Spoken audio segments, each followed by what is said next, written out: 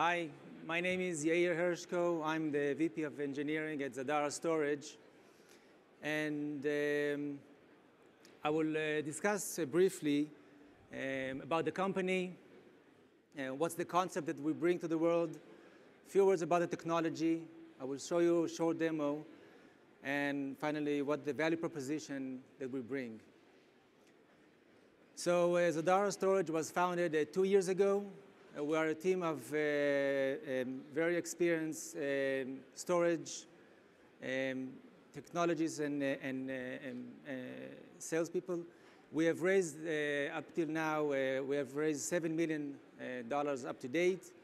Um, we have um, gone production about a year ago, and our technology was adopted by Dimension Data and is currently being evaluated by 20 plus other clouds. Um, and we have revenue customers, including Deloitte um, and others. So what's the concept? Um, when we founded the Zadara Storage, uh, we have uh, um, basically uh, came to the conclusion that there is no way today to consume enterprise quality storage as a service in the cloud. And what if we could have um, provided an enterprise storage as a service with high performance and availability, with the, the customer ability to control and the freedom of choice of the storage that is needed, the flexibility, and chargeback, chargeback and billing. And on the other hand, there's a need for cloud scale and cloud economics, which means that we can scale up the storage cloud up to exabyte with a single management point. We can provide predictable performance to end users. And basically, you can think about it, can we provide a single tenant storage experience in a multi-tenant environment. So how do we do that?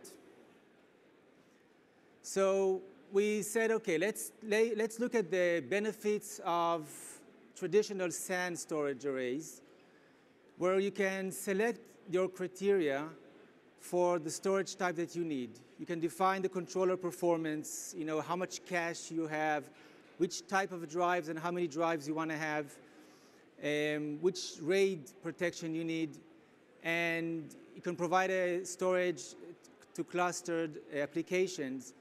And basically that defines your uptime and your uh, IOPS and latency.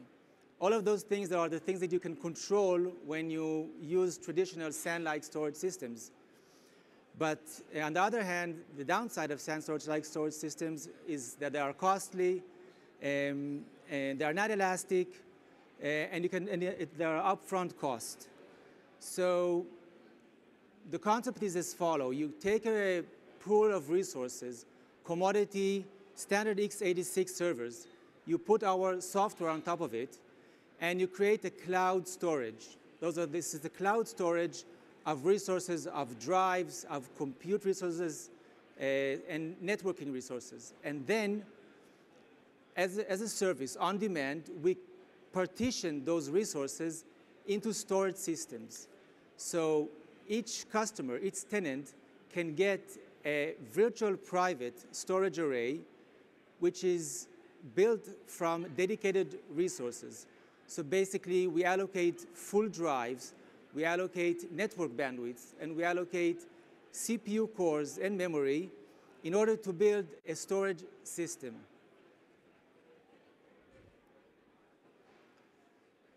So how do we do that? If you look at the bottom, this is our Zadara Cloud Fabric. This is the, the Zadara Storage Cloud.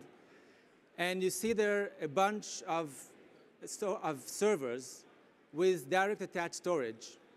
And running our software, we build this virtual storage array, which is, you see on the top has two array controllers, storage controllers. You can define the amount of memory that is used for cache, and then you select drives from different nodes, so there's no single point of, failure. You select drives from different nodes, and you carve from that a virtual private storage array. From that storage array, you can then go and create RAID groups, pools, and carve volumes and assign those volumes as iSCSI or NFS to your hosts, to your application servers in the compute cloud. So what are the key benefits, the key features that we provide? So we provide an enterprise class iSCSI, which is block and NFS uh, storage. You get full control. You have your own GUI as a tenant. You can build an array in five minutes. And uh, you get consistent performance with dedicated cores, dedicated network bandwidth, and dedicated um, uh, storage drives.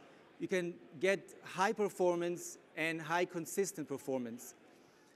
Uh, security, uh, we have uh, authentication with CHAP, um, and in addition, um, you get full flexibility of the storage system, um, which you are able to add and remove um, drives. You can add and remove uh, uh, compute power as you need.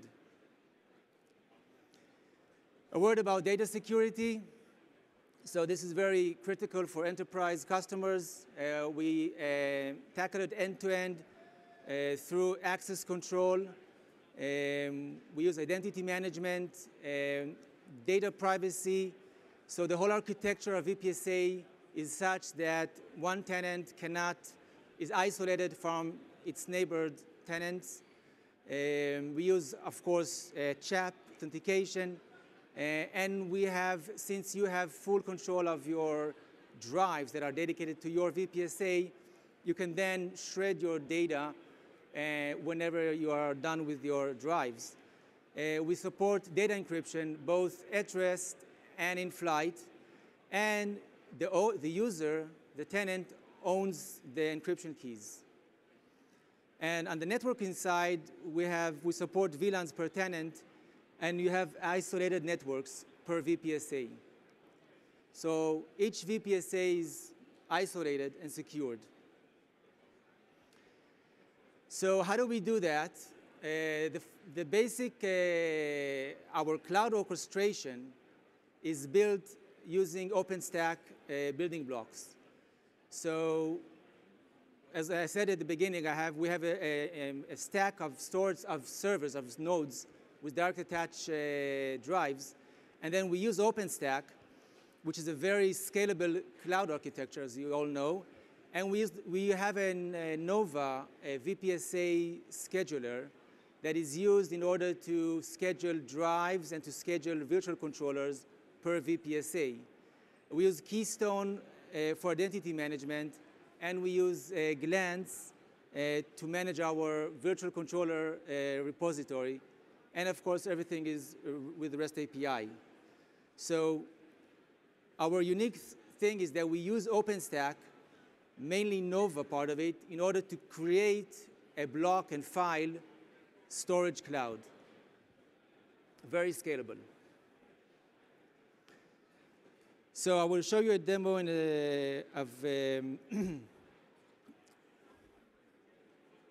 okay. So this is the management uh, console where you can log in and create your virtual private storage array, okay? I will go and create a VPSA. When I create a VPSA, I provided a name, OpenStack demo. And I will uh, select three criterias. The first one is where do I want to locate the storage array, in which um, data center, in which cloud. Currently we support today, we are deployed at Amazon, Dimension Data, and Equinix. I would select um, Amazon um, EC2, for example. And then I, in order to create my VPSA, I need to select basically two things. One is what is the Zadara engine. And the Zadara engine, you can think about it as the virtual controller. So um, which, uh, what, what is the virtual controller ca uh, capabilities, which is basically the amount of CPU cores and the amount of memory that is being used to process the IOs. I would select a, a basic Zadara engine, and then I can select uh, which type of drives I want to have and how many drives I want to have within the VPSA.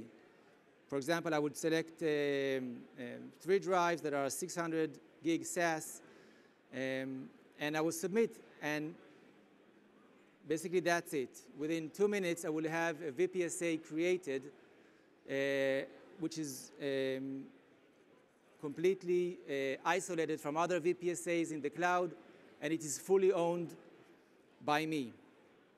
So if I'm um, going to a VPSA that I've previously created, um, this is the GUI that you get when you spawn your VPSA today. Uh, as you can see, I can, uh, I can look at the list of drives that exist in my VPSA. This one currently has 10 drives. Um, I can remove a drive if I want to give it back to the cloud and stop paying for it. Um, for example, I will take this drive and I will remove it, and this is no longer belonging to this uh, VPSA. Right. Then I can go and uh, create a RAID groups. So currently I have a single RAID group. I can go and create another RAID group from the drives that I've selected.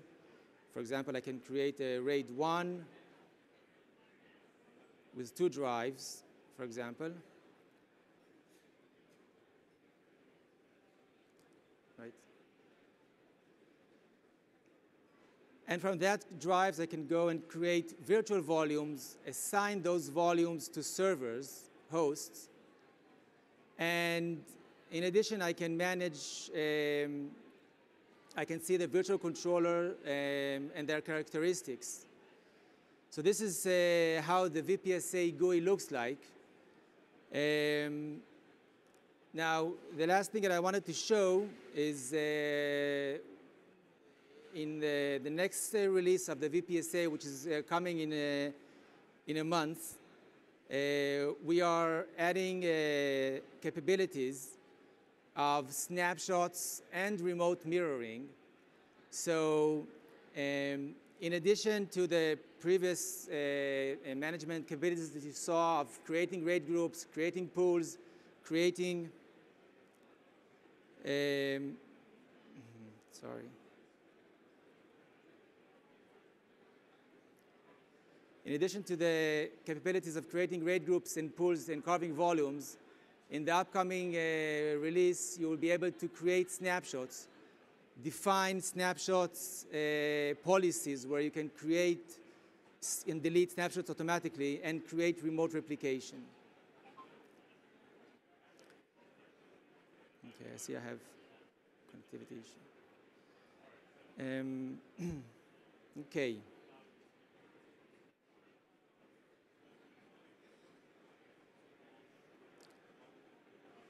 So um, where does Zadara fits in enterprise storage? So we are a software as a service, um, which is similar to SAN, but is as a service.